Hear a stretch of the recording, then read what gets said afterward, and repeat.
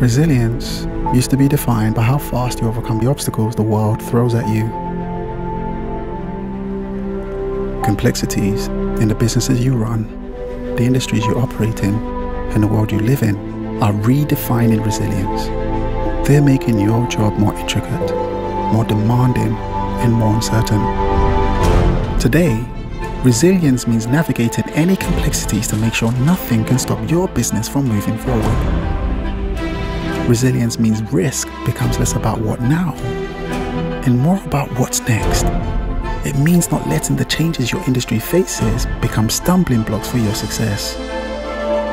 Resilience means building long term relationships you can rely on. It means focusing on your business, your risks, and you, no matter the complexities your business faces, no matter how resilience is being redefined for your industry.